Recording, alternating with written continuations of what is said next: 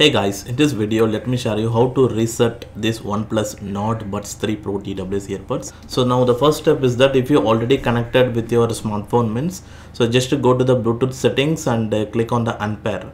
And if you connected in multiple phones means do the same in all the smartphones.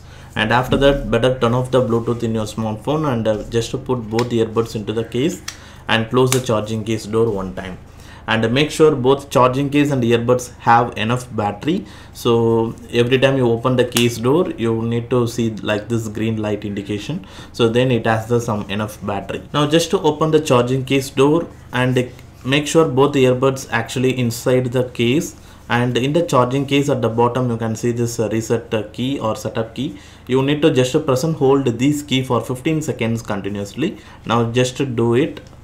One two three, four, five, six, seven, eight, nine, ten, eleven, twelve, thirteen, fourteen, fifteen. So you can able to see a red light indication flash for three times. So that is a success indication for the reset completion on this OnePlus Nord Buds 3 Pro TWS. And after that now just to enable the bluetooth in your nearby smartphone.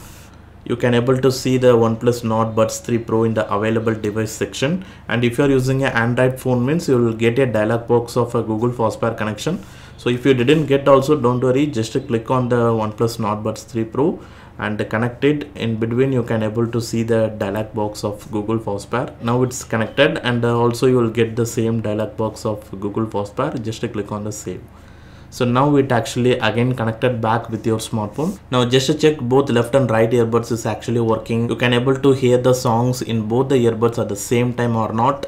And also if any connection related issues means that will be sorted out and then if you're an android user means search for uh, accessibility settings. Now here you can able to see the accessibility menu. So once you enter the accessibility page click on the hearing tab. Now here is the channel volume balancing. So make sure this pointer it should be at the center. If it is towards left or towards right then only you can able to hear the maximum sounds in the left or right side. So this is also one more option you need to note that so now these are all the some of the methods you need to check on your OnePlus Nord Buds 3 Pro TWS earbuds. If you face any connection related issues or only left or right earbuds only I can able to hear. So like that problems will be sorted out by just doing these methods.